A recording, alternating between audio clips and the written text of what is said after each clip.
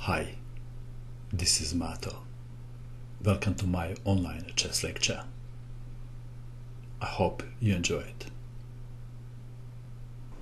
In this video I will show you the game between Vishy and Jon Ludvig Hammer.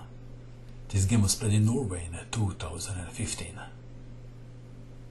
Vishy had white pieces and he started with c4, English opening. Hammer played e5, g3, knight to f6, bishop to g2, d5, c takes on d5, knight takes on d5, knight to c3. So you have a reversed Sicilian dragon. White has an extra move. Knight to b6, d3, bishop to e7, bishop to e3, Hammer castle kingside, rook to c1, f5, knight to f3, knight to c6, Anand castled kingside too, bishop to e6, white to move. a3 is very popular move in this position, intending b4. Anand played b4, offering a pawn for free. Is it really free? Hammer played a6. If knight takes on b4, knight takes on e5. And if bishop takes on b4, then knight to g5, threatening knight takes bishop. After bishop to f7, knight takes bishop, rook takes knight and now removing the defender of d5 bishop takes knight pawn takes and white is winning the exchange. So we have a6 a3 king to h8 knight to a4 knight takes knight. If bishop to d5 then knight to c5 so we have knight takes knight, queen takes knight, bishop to d5, bishop to c5, bishop to d6, queen to c2, queen to f6, e4, bishop to e6, pawn takes pawn, bishop takes pawn. So at this stage of the game, black is doing well. Bishop to e3, a5, b5 attacking the knight. What is the best square for the knight? have I played knight to e7. Beta was knight to d4. And after bishop takes, e takes on d4. And after a4, c6. Pawn takes pawn, pawn takes pawn. And why it is advised not to capture on c6 because of bishop takes on d3 okay so Anand would not capture on c6 he would do something else. Perhaps knight to h4 okay let's go back to our game. We have knight to e7 bishop to g5 attacking the queen. Queen to f7 queen to c3 threatening. Knight takes on e5 and then later bishop takes on b7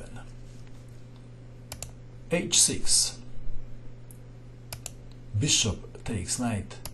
Queen takes bishop. Knight to h4 attacking the bishop. Black to move. How should black continue? To win the pawn on a3 and attack the rook or to play bishop to h7.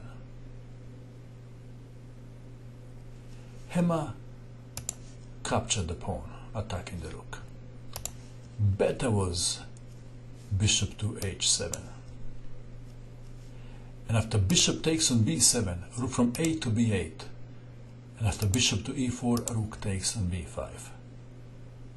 That would be better for black. In the game we have bishop takes on a3 attacking the rook. How would you continue? Anand captured on b7, attacking the rook. Bishop takes on c1. How would you continue? Anand played the best move. Knight takes on f5, attacking the queen. Rook takes knight. Bishop takes rook on a8, saving the bishop. Queen takes on a5, attacking the bishop. Bishop to c5, bishop to e4. Who is better? White is better now. Not only that white is a pawn up, but white bishop is better than black bishop because of the pawn structure. The game continued. Rook to f8, king to g2, queen to d6, h4, h5, preventing white from playing h5. Queen to d2, intending queen to g5, queen to f6, queen to e2, attacking the pawn on h5. How to defend the pawn? Is this good?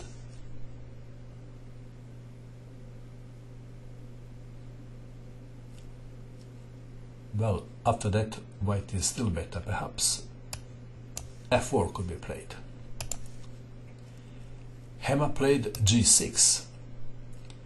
This is a very interesting moment of the game. How should white continue? Please pause the video and try to find the best move for white.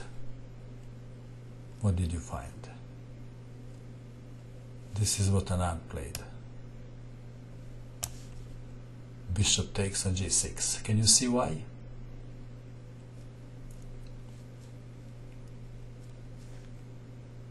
Queen takes on g6 and now Queen takes on e5 check, forking the king and the bishop.